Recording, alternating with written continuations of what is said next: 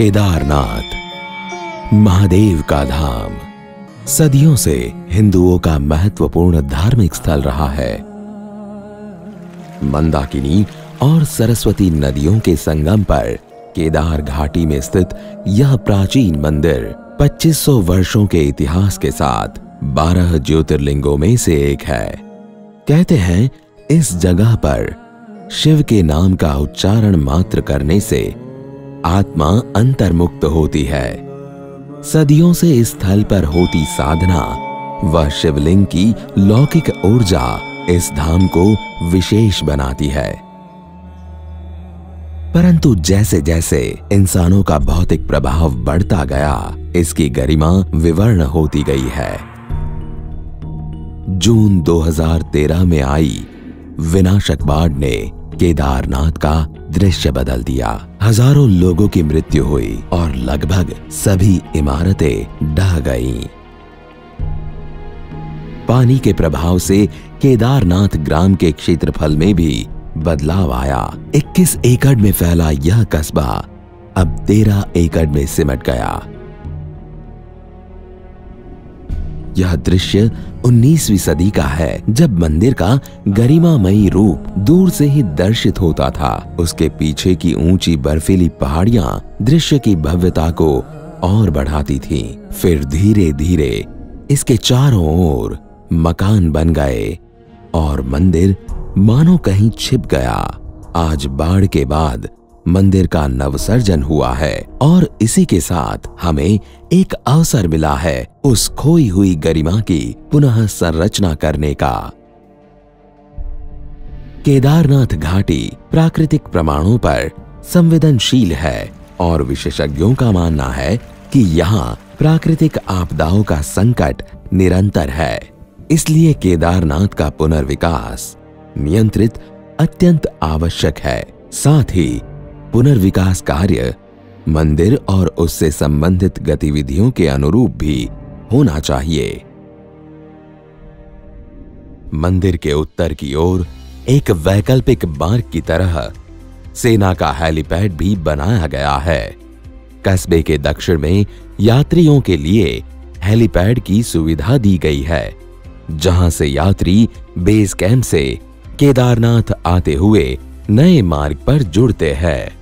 प्रस्तावित master plan, बाढ़ सुरक्षा एवं मंदिर की गतिविधियों के अनुरूप है। इसके तहत बाढ़ सुरक्षा को अधिकतम महत्व देना चाहिए। त्रिस्तरीय पुश्ता दीवार घाटी के दोनों ओर बनने से भविष्य में आपदाओं से सुरक्षा मिलेगी और ऐसी त्रासदी होने से बचाव करेगी। प्रस्तावित विकास योजना क्षेत्र के तल रूप के अनुरूप है। इसके तहत मंदिर का दृश्य अक्ष खुला रखा गया है। यह दृश्य अक्ष एक भव्य रेखा के समान होगा। दोनों नदियों के संगम पर और दृश्य अक्ष की शुरुआत में एक छतरी का निर्माण होगा, जिसमें शिवजी के डमरू और त्रिशूल की स्थापना की जाएगी। मंदिर के ऐतिहासिक रूप को बनाए रखने के लिए उसके पीछे व दोनों तरफ़ निर्माण निषिद्ध होगा और बाढ़ दुर्घटनाग्रस्त लोगों की याद में स्मृति उद्यान भी बनाया जाएगा। यहाँ बाढ़ से बचाव और परिक्रमा के लिए एक स्तंभ वली की रचना की जाएगी। पूर्व दिशा की ओर सरस्वती नदी के किनारे घाट का निर्माण होगा। इसमें इमारतों को उत्तर दक्षिण दिशा में संरेखित किया गया है, जो कि नदी के बहाव समानांतर है। इससे भविष्य में बाढ़ के पानी में रुकावट कम आएगी और घाटी में न्यूनतम क्षति होगी। इमारतों का निर्माण स्थानीय लकड़ी व पत्थर से किया जाएगा। एक नवीन आदि शंकराचार्य स्मारक, जो कि पश्चिम दिशा में मंदाकिनी नदी के समीप और मंदिर के पास मेडिटेशन सेंटर और मेमोरियल का निर्माण भी प्रस्तावित है।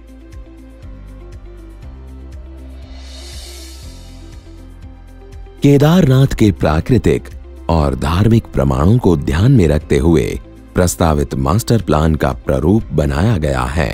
पद यात्रा अथवा हेलीपैड से आने वाले तीर्थ यात्री मंदाकिनी और सरस्वती नदी के संगम को पार करके आते हैं। खुले दृश्य अक्ष से वे संगम से ही मंदिर के दर्शन कर पाएँगे। एक लंबी और थकान भरी यात्रा के बाद यह अद्भुत दृश्य तीर्थ यात्रियों का स्वागत करेगा। संगम से मंदिर तक का अंतिम 900 फीट का पड़ाव एक अद्भुत अनुभव होगा।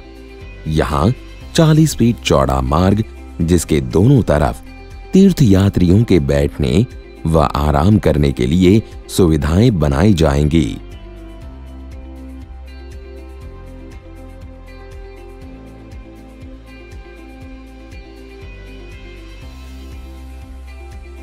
भव्य रेखा के आसपास पूजा सामग्री व अन्य दैनिक आवश्यकताओं के लिए हाट की भी व्यवस्था होगी।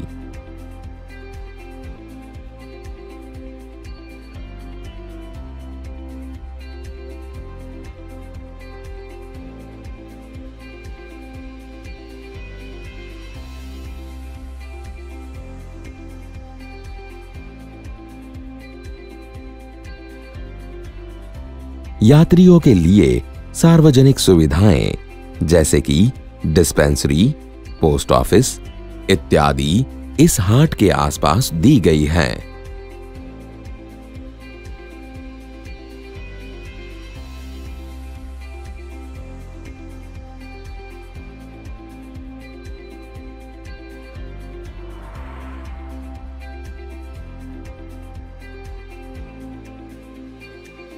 भव्य रेखा के दोनों ओर नई इमारतों का निर्माण यहाँ की पद्धति व पर्यावरण के अनुसार होगा।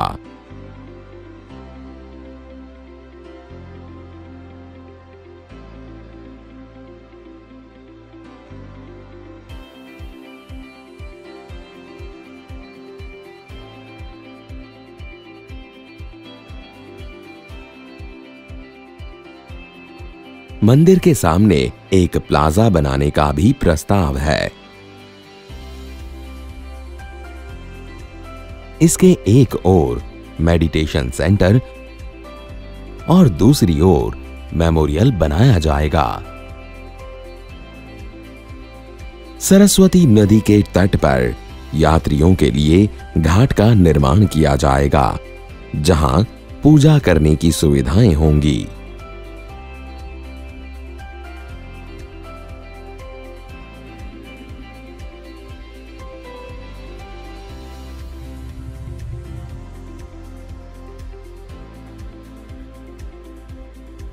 यात्रियों के लिए मंदिर के पीछे एक स्तंभ वाली और स्मृति उद्यान भी बनाया जाएगा। यह निर्माण योजना मात्र भौतिक सुविधाओं को ध्यान में रखकर नहीं, यद्यपि इस स्थल की लौकिक व तीर्थ यात्रियों की आंतरिक ऊर्जा को पुनः जागृत करने का एक प्रयास है।